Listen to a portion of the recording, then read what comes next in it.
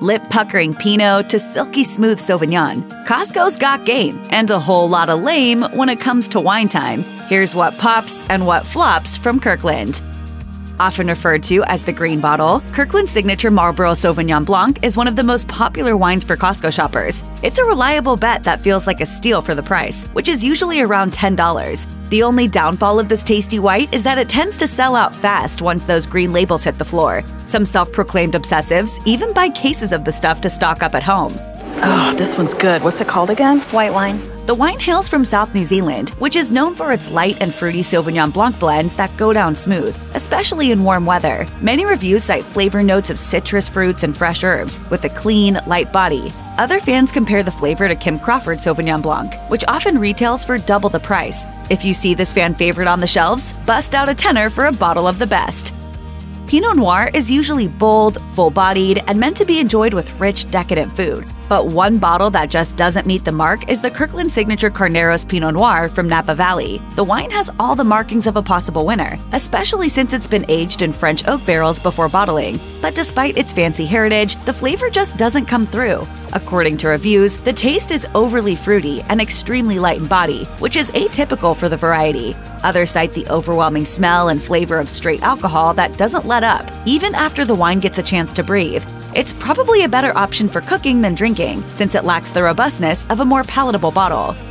If you're going for a Kirkland Signature Red, consider the Rioja Reserva, a Spanish wine made from 100% Tempranillo grapes. This red also spends plenty of time aging in oak barrels before it's released, and thanks to those three years in waiting, the wine gets plenty of full and complex flavor. It's a slightly more savory red, but it's rounded out with notes of vanilla, baking spice, and licorice to add balance. It's like a god drinkable candle. This bottle typically goes for 8 to $12, even though it tastes like it could cost double the price. It's unbeatable for the price tag and flavor, especially for a Spanish red. Even if you're new to Rioja, this pick is a great way to get introduced. As Wine Searcher reviewed it, best $7.29 bottle of wine ever. Kirkland's Pinot Noir offerings are a hit or miss, and the Russian River Valley Pinot Noir definitely misses the mark. This is one of those wines with polarizing reviews. Most people either love or hate it, and this bottle's a lot sweeter than other varieties from the same region in Sonoma County, California. This red can be so sweet that it's almost syrupy, which can become overwhelmingly one note after a few sips. For just $12, it's not terrible, but there are plenty of better options for your next party that will have everyone happily sipping all night. Kirkland's signature Cote du Rhone Village is a tried and true cult favorite. As one fan posted to Reddit, I can tell you that us French expats never miss the Cote du Rhone Village release. This red is a blend of Syrah, Grenache, and Mourvedre grapes that come from the esteemed wine region in the south of France.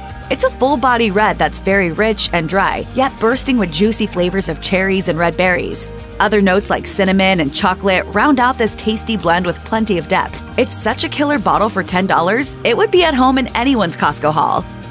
Another controversial worst is the Friuli Grave Pinot Grigio, which has a core group of loyal defenders. This Italian white is a major bargain at 5 to $8 a bottle, but it isn't the best option at that price point by far. I like a full bodied Italian.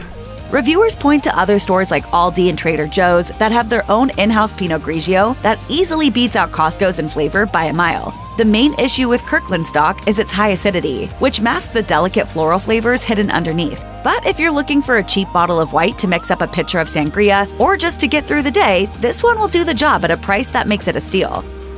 Prosecco is the bubbly Italian cousin to French champagne, and Kirkland's Asolo Prosecco is a bargain that goes beyond in the flavor department. This wine is floral and fruity, with a natural sweetness reminiscent of honey or apples, and it features just the right amount of fizz to keep it light. It's an extra dry sparkling wine that comes from the Veneto region of northern Italy, and for $8, who needs a celebration in order to pop a bottle for fun? It's great for drinking on its own or fizzing in a mimosa or Bellini, since it's bubbly and light. Some reviews note that the Kirkland version tastes even better than other affordable sparkling brands like La Marca, which is usually sold with a higher price tag.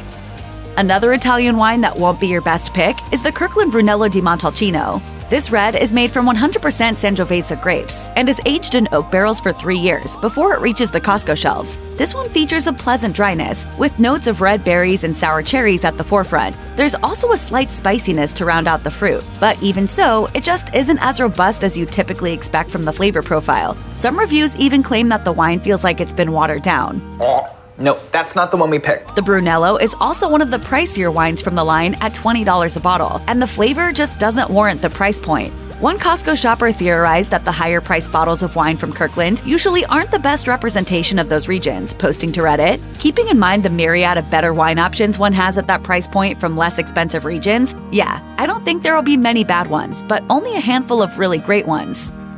Another coveted release from the southern Rhone Valley of France is the Chateauneuf de Pape. This bold red blend features a combination of Shiraz, Grenache, Mourvedre, and Cinsault grapes from the renowned winemaking region. It's an earthy blend that's rich and well balanced, with just the right amount of sweetness and spice. Some standout notes include dark fruits like currants and blackberries, paired with a hint of pepper. Yes, it's another pricier option at about $20 a bottle, but most Costco fans think it's worth every penny. Maybe it's a sipper for special occasions, but it's still a bargain compared to high end French reds that retail for upwards of $40 a bottle at a typical liquor store. Plus, the flavors of this red blend are unlike anything you'll find in the average Merlot or Pinot Noir. So here's your chance to explore dynamic old world wine for a great price. Kirkland Signature's Prosecco may be a shining star in the line, but the Champagne Brut is one you can leave on the shelf. It's a bummer because the idea of an affordable champagne sounds appealing to anyone who enjoys a little bubbly, but that doesn't mean you should suffer in the flavor department for the sake of a good deal. This sparkling wine comes from France, as is tradition, and features a blend of Pinot Noir, Chardonnay, and Pinot Meunier grapes. The champagne starts strong with fruity flavors of peaches and oranges, but those brighter notes quickly fade away to reveal an unpleasant aftertaste that's oddly sour and bitter. This comes from your mother's butt? This bottle is just not as tasty to sip on alone as the Prosecco is, but it might be more enjoyable mixed into a mimosa or other cocktail. At $20 a bottle, though, there are plenty of better sparkling options that boast a better balance of flavors. The Kirkland Signature Champagne Brut has had loyal followers in the past, but many reviews from people who had the wine recommended to them claim that it fell way below their expectations and wasn't worth the cash. A must try red from the Kirkland Signature wine list is the Chianti Classico Reserva, which sells for a value of around $9 a bottle. That is, when you can find it on the shelves. This Italian wine is another made from the Sangiovese grapes, and it's aged for a minimum of 24 months, with at least three of those spent in the bottle in order to amp up the richness of the flavors. The wine is as deep red in color as it is dimensional in flavor, while still being easy enough to drink regularly. It's a great option to keep on hand for the average weeknight dinner when you're looking to kick it up a notch and not break the bank. So you're just really open to all wines? I like the wine and not the label. This Chianti is loved for its notes of cherry, vanilla, oak, and leather that perfectly complement its dry and tannic mouthfeel. The blend is another great option for pairing with food, whether you've got steak on the grill or you're doing delivery pizza. One Vivino user wrote, At this price point, you'd be hard pressed to find a better wine. Big surprise. Wish I bought more. The Kirkland Signature Cabernet Sauvignon is one that you'll almost always be able to find in the Costco wine aisle, but just because it's a widely available option doesn't mean it's worth dropping in your cart. The red wine isn't the worst of the worst, but most people don't like the version of the wine that's sold in a box. Even so, there are so many better red wines available at Costco for this price point. What do you think? I hate it. The Cabernet Sauvignon has the signature earthy and bold flavor profile you'd expect from the variety, but it isn't as rich or complex as you may have hoped the Californian wine would be. Costco usually unloads this variety for $8 a bottle, which sounds great on paper, but this one isn't a steal for its one note flavor that gets old after a glass or two. Just be glad you didn't get a whole box of it. In the summer, when it's all about the poolside sippers and chilling on the beach, everyone from wine moms to wine snobs know that nothing beats rosé all day. That's also why when Costco releases its Kirkland signature Cote de Provence rosé in the warmer months, it pretty much flies off the shelves. And at $10 a bottle, this rosé is a steal. Plus, unlike other bargain brands, it's not overly sweet. This bottle drinks very dry with a whole lot of zest, thanks to the perfect amount of acid. It's a blend of several grapes, including Grenache, Cinsault, Syrah, Vermentino, Carignan, Ugni Blanc, and Mourvedre. This Kirkland signature tipple tastes just like summer in a stem glass. It features the bright flavors of fruit like peaches and lemons without a sugary aftertaste, meaning it's primed to quench your thirst on even the hottest of days. File this one under our skip it list, the Sonoma County Chardonnay. It's light on your wallet at $7 a bottle, but let's be real, it barely even resembles an actual bottle of Chardonnay. The Costco version of this variation is acidic and sugary rather than buttery and smooth. And to top it all off, it's got an unfortunate aftertaste. The flavor of straight alcohol is much more present than usual in this variety, especially for a light white wine that typically isn't known as being overly boozy. Costco advertises that the Chardonnay is positively bursting with fruit flavor, but the nuanced notes are tough to recognize even after a few sips. Really, it's hard to distinguish any flavors that feel fresh or natural coming from this blend. There are literally hundreds of varieties of Sonoma County Chardonnay worth trying, but this one just isn't one of them. As one Vivino user described it, not good, odd fuel flavors, taste like cheap, fake wine. Cheers to those heroes who tried it, so the rest of us wouldn't have to.